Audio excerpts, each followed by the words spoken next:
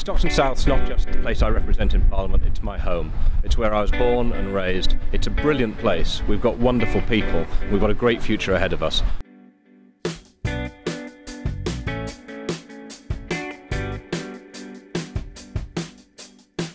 Stockton South is a really great constituency to represent as a Member of Parliament. Now, it's where I'm from. I was born in North Tees Hospital. Uh, and actually, when I look across the area, we've got a whole range of different communities with different issues challenges that each faces. Uh, Thornaby, Yarm, Eaglescliffe, Ingleby Barwick, Stockton itself, all of the villages. There are many things that tie us together and many similar things uh, that we try to do for the area as a whole. But each part also has its own individual unique challenges and things that people want to see improved in their communities.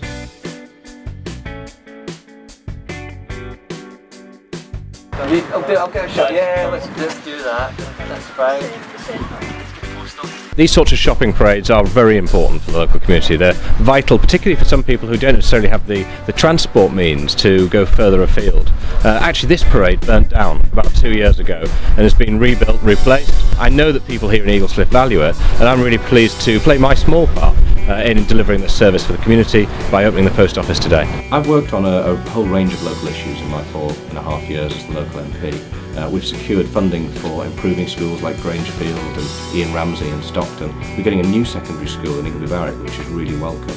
In Thornaby we've got the town hall given back to the people of the town. The TriStar Neasham site which is a derelict site by the, the high street, by the town centre there, uh, has been refurbished. All of those eyesore buildings have been removed. We've got lots and lots of positive things that have been happening. Here in the northeast, and particularly in Teesside, we've already seen a lot of really positive developments in recent years. There's no denying that the recession and the economic challenges that this country faced hit our area hard, but we've got to ensure that we invest in jobs for the future and the skills for the future. That means at every level, from investing in education locally, We've also got to ensure that the broader skills base is maintained and that the jobs are there at the end of that process.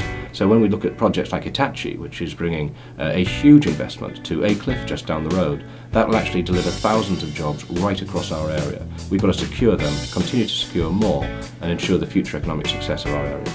So I spend Monday to Thursday in London, in Westminster, doing my job in Parliament, and Friday, Saturday, Sunday I come home, I come back up, and I always love coming back up to Eaglescliffe where I live, to Stockton, which is the town that I represent, and that can involve a whole range of things, from visiting uh, shows and fairs where people are raising money, supporting charitable organisations, to, as I did this morning, speaking to groups of politics students at local schools, uh, meeting local businesses, and of course holding my surgeries, going out into the community and finding out what sort of things people want to raise with me, uh, and specifically for individuals. If there are issues that to try and help them.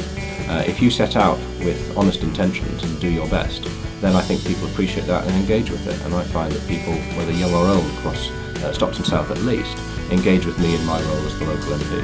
I hope that we can do that to mutual benefit and get the best for our community.